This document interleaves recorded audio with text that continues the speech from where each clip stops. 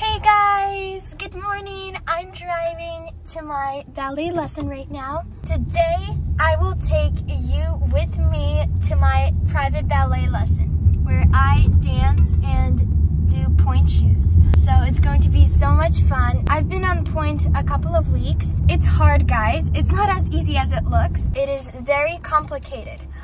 I'm struggling with chaîné turns. I can't imagine what pirouettes will be or fouetté turns. So stay with me till the end of the video. It will be so awesome. Um, squeeze more at the tops of your thighs.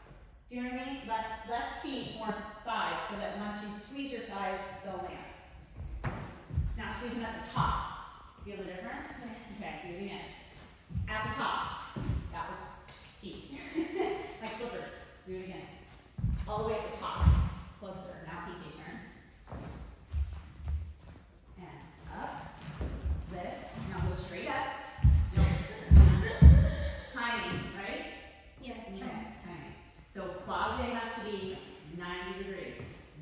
not 45. But also when you, when you play quasi this time, and I think you'll do it again, you're playing backwards. Over. Because do you feel like you can pick your heel up off the ground this feet? No. Right. I don't need to actually do it, but what I'm saying is you have to have the feeling of that with like in the There. Yeah, exactly. Uh-huh. Ready? And go. Up. You're, whoa, whoa, whoa. You're sitting on your back, that's wrong. Heel forward. This one. This No, this one, yeah. Over your hips. Now arms up and lift. There you go.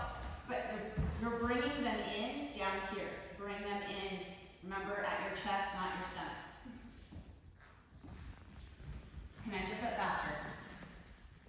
Right away. There you go. But then your arm stopped and your leg kept going. You want to make sure that the leg and the arm stop at the same time so that it can out. Hmm. Don't let your rotation go in.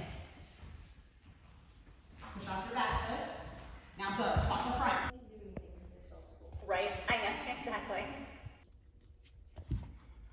I tried her pointe shoes Oh, you did? because we have the same size. Oh, yeah.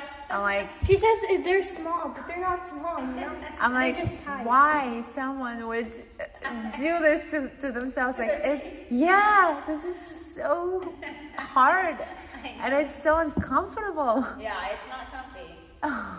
It's so it's so pretty, like to watch and Yeah. do it, but it is not. It's not for the weak, that's for sure. and extend it out, and flex. Work through the foot to point and close left foot, and push. Good. And flex, and point, and close. Turn out first position. Cross the right foot over and press straight down.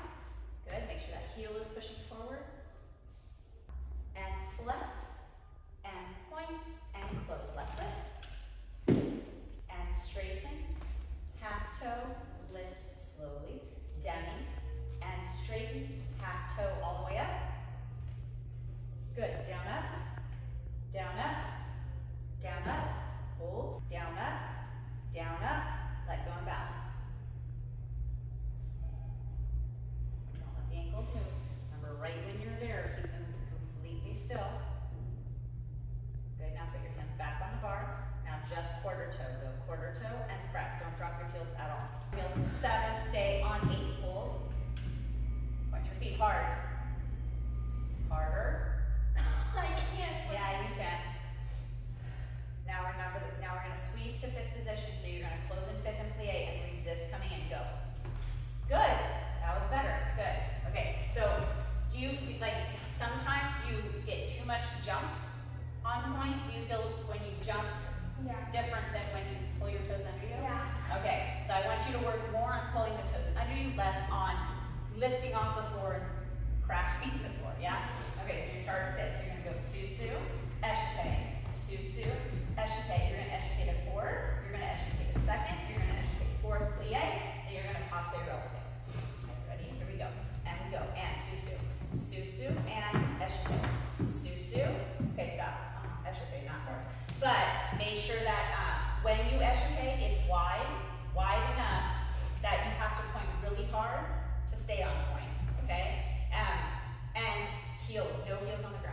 I'm, still hearing your heels push into the floor. Ready, go. And sous-sus, esh, jumping. That was a jump. Do it again. Ah, that was beautiful. That's what we need to keep doing. And then close, sous-sus, and out. That was jumping. There, that was a little better. And close, échappé, good. No, uh, just échappé, close fit, échappé, close fit. Échappé, fit, échappé, fit, échappé, fourth, plie, passe. Connect your foot to your knee.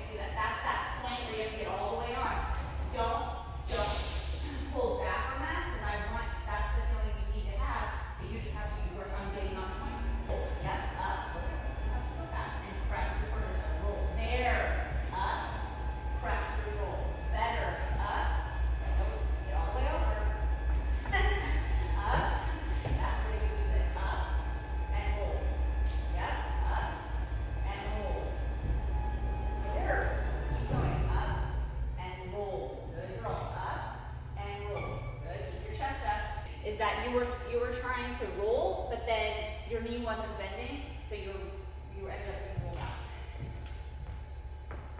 On pointe and lift and roll. Keep your chest up.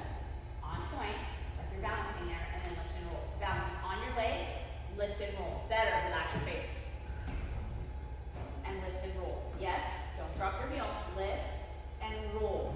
Lift and roll. Yes, okay. That was better. Now I'm gonna go down this way again because you're really low key.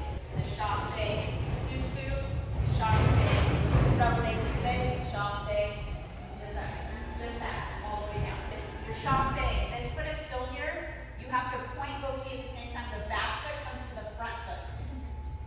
Uh-huh, and then chasse, good way, hold, see how you, yep, and now go fit and go chasse, cool, yeah, there you go, look at you putting steps together. You know, are you ever supposed to move your front foot? No. No, start again.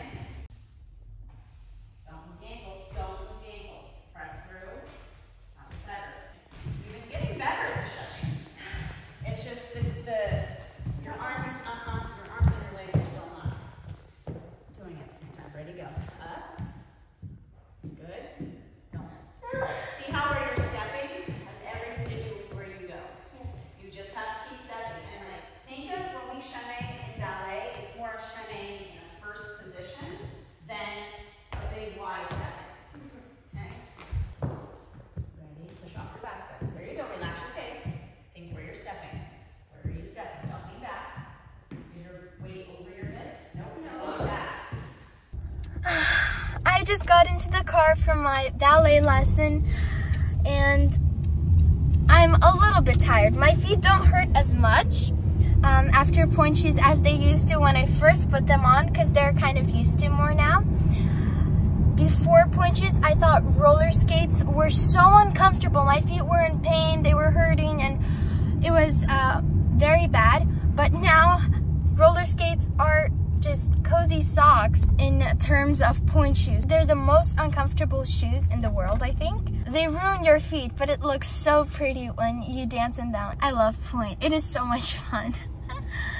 And I'm very glad that I started doing private lessons with my amazing teacher because uh, before I was struggling with some concepts like how to do this move or this turn or how to develop it the right way when you're on releve. So uh, yeah, I'm very glad I started taking private lessons and it was a great help for me. And even though it is very hard and complicated, there are so many rules on pointe shoes and in ballet in general. It is so much fun. I don't regret that I ballet or just got pointe shoes and ruining my feet. As long as I'm ruining my feet and not my hands, I'm okay because I'm a violinist and I need to keep my hands safe and perfect so I can play my instrument. But the feet, I don't really care. no, I do care, but who looks at your feet, guys? You're always like in shoes or socks or in pointe shoes if you're dancing, so.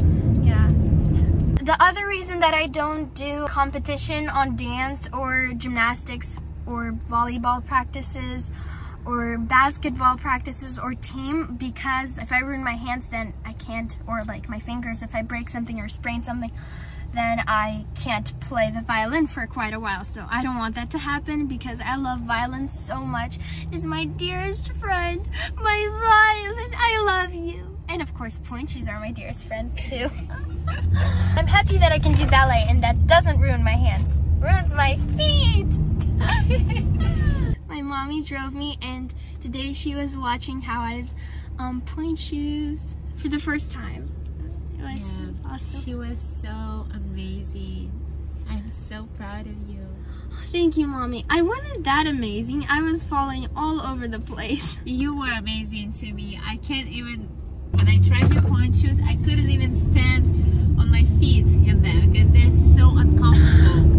Yes, from this part, they're like grabbing like this part so much um, from your ball of the foot to the toe, and it is so uncomfortable, but it's worth it. so get pointe shoes and start doing ballet lessons. Yeah, be prepared. It's very hard.